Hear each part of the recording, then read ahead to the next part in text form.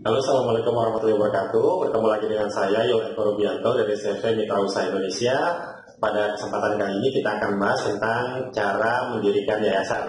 Namun seperti biasa, untuk teman-teman yang belum subscribe, silahkan subscribe dulu. Karena di channel ini kita akan membahas informasi seputar legalitas dan uh, kewirausahaan.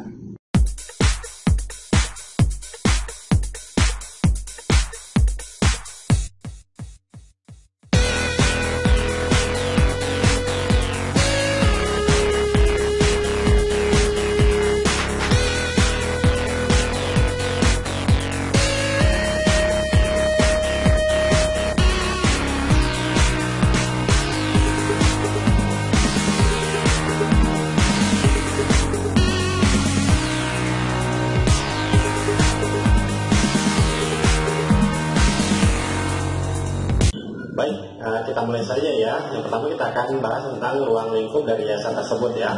Menurut Undang-Undang Yayasan, yayasan itu adalah badan hukum yang kekayaannya terpisah dari kekayaan pribadi yang bergerak di bidang sosial, keagamaan, dan kemanusiaan. Jadi kalau semua jadi itu kalau semua teman-teman yang nanti berniat ingin membuat bidang perdagangan atau bisnis, maka sebaiknya jangan menggunakan uh, badan hukum yayasan seperti itu ya. Jadi kalau sosial misalnya bergerak di bidang pendidikan, bidang budayaan, itu bisa menggunakan yayasan.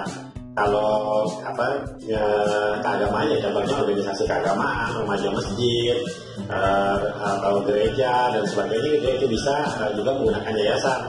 Lalu yang ketiga kalau kemanusiaan tentu saja bidangnya uh, seputar dengan kegiatan uh, bantuan bencana alam uh, dan lain sebagainya ya. ya seperti itu. Jadi yayasan luar lingkupnya saya lagi ada tiga bidang sosial, keagamaan dan kemanusiaan. Terus bagaimana kalau misalnya yayasan mau bergerak bidang perdagangan? Ya boleh saja, tapi itu tidak bagian dari bagian hukum yayasan tersebut sendiri ya. Kalau misalnya kayak pesantren ya atau kalau pesantren punya operasi ya atau punya yang operasi itu bisa dibikin pada hukum sendiri ya. Atau kalau mau memang bisnisnya itu memang bisnisnya yayasan itu mau dibuat legalitas ya buat uh, organ sendiri yang memang khusus bisnis. Bisa saja buat CV atau PT di bawah yayasan. Tapi kalau cuma sekedar misalnya dagang saja bikin koperasi yang jadi pemasukan gitu ya itu boleh saja kan boleh saja badan apa namanya uh, unit usaha tersebut tanpa badan hukum gitu ya. Tapi pemasukannya ke yayasan itu bisa, bisa saja, cuman ya ya gitu ya. Cuman ya tidak mungkin uh, mungkin tidak bisa melakukan tender-tender atau kegiatan yang usaha yang membutuhkan badan hukum gitu ya. Tapi kalau sekedar misalnya ada uh, peternakan, perikanan atau pertanian gitu ya yang nanti ada penghasilan di dalamnya yang bisa apa menghidupi atau operasional yayasan itu tidak apa-apa. Tapi yang jelas bidang utamanya hanya tiga hal di atas ya, sosial, agama dan kemanusiaan seperti itu. Dan yang kedua, yang kedua adalah yayasan itu kekayaannya yang perlu kita soroti adalah kekayaannya terpisah dari kekayaan pribadi. Artinya seandainya ada pemasukan dari yayasan ya, karena yayasan kan boleh pemasukannya ya boleh saja dia membuat unit usaha seperti tadi ya, atau juga boleh uh, misalnya dia menerima sumbangan, menerima hibah dan sebagainya. Tapi yang perlu diketahui adalah uh, dana tersebut ada di yayasan bukan di pendirinya. Jadi misalnya saja ya kalau uh, yayasan sekolah itu kan ada profit ya sekolah ya, makanya uh, nah profit itu nanti bisa diberikan aset, diberikan gedung, diberikan tanah, maka tanah dan aset tersebut adalah terpisah dari kekayaan para pendirinya. Artinya misalnya gedung itu dijual, nggak bisa gedung itu dijual, uangnya itu misalnya jadi milik uh, pemilik yayasan atau pendiri yayasan itu tidak bisa. Jadi itu tetap uang itu adalah uh, apa namanya uh, milik yayasan itu sendiri. Jadi memang yayasan itu uh, seperti dijelaskan di awal dia memang kategorinya tidak untuk berbisnis. Tapi walaupun demikian ya semua pengusaha itu boleh digaji ya, boleh mendapatkan gaji. Jadi kalau mungkin uh, profitnya itu uh, bisa di apa keuntungannya ya. Uh, misalnya pengelola yayasan itu kan perlu untuk biaya hidup ya, atau perlu penghasilan ya, nah, penghasilan itu boleh dari gaji. Oke, nah ini berkaitan juga dengan uh, berikutnya ya. Yang ketiga kita akan bahas tentang organ yayasan. Jadi kalau ingin mendirikan yayasan minimal itu ada lima yang mesti disiapkan uh, organnya ya. Pendirinya boleh saja satu orang ya. Tapi organ yang ada di yayasan itu minimal ada lima untuk dimasukkan ke dalam akta pendirian yayasan. Yang pertama adalah pembina, pemilihan pengawas, ketua, sekretaris dan bendahara. Jadi minimal ada lima orang ini ya, masing-masing ke notaris menyerahkan KTP dan NPWP. tapi nanti yang mendirikan misalnya bisa saja pembinanya saja. Jadi dalam dari lima organisasi tersebut, dua organ pengawas dan pembina itu tidak bisa menerima gaji. Ya, jadi memang ini uh, tugasnya memang uh, murni sosial ya, murni pengabdian pada yayasan. Sedangkan ketua, sekretaris dan bendahara itu boleh menerima gaji. Jadi nanti bisa teman-teman uh, ini jadi pertimbangan juga untuk menyusun organisasi tersebut ya. Jadi siapa yang akan jadi ketua, siapa yang akan menjadi pengawas dan pembina. Tapi pembina itu yang tertinggi adalah eh, kekuasaan tertinggi ada di tangan pembina.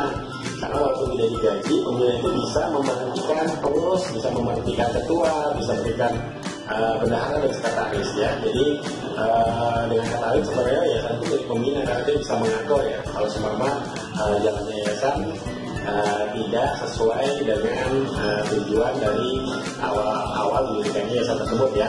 Nah, uh, mengenal struktur itu jadi nanti bisa mempertimbangkan siapa yang jadi ketua, pengawas dan sebagainya. Oke, okay, nah untuk mendirikannya bagaimana? Yang mendirikannya teman-teman ya kalau sudah ada lima organ tersebut masing-masing membawa KTP dan NPWP-nya dan kartu keluarga kadang-kadang sudah notaris minta ya sebagai dokumen uh, tambahan untuk mensinkronasikan keaslian dokumen datang ke notaris membuat akta pendirian yayasan. Nah, dengan menyebutkan maksud dan tujuan teman-teman bisa milih maksud dan tujuannya. Boleh yang tadi ya sosial keagamaan atau kemanusiaan atau tiga-tiganya juga boleh. Ya seperti itu. Ya, lalu yang berikutnya adalah kalau misalnya yayasan itu mau membuka rekening gitu ya membuka rekening bank.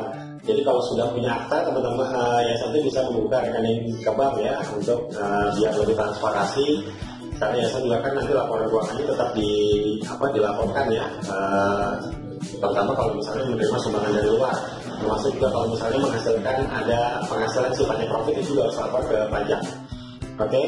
uh, yang seperti apa? Kalau misalnya uh, yayasan itu murni sosial ya masuk kayak di di apa dimasukkan ke kegiatan sosial itu juga tetap dilaporkan ke pajak.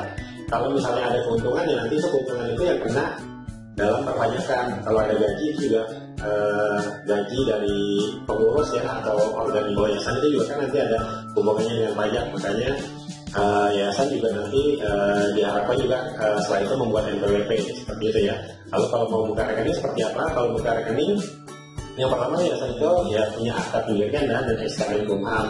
Kemudian penanggung jawabnya ya menyerahkan KTP dan NPWP kemudian juga ada NPWP yayasannya tadi ya harus dibuat ya. Terus juga ada surat domisili ya. Jadi kalau yayasan itu harus punya surat domisili.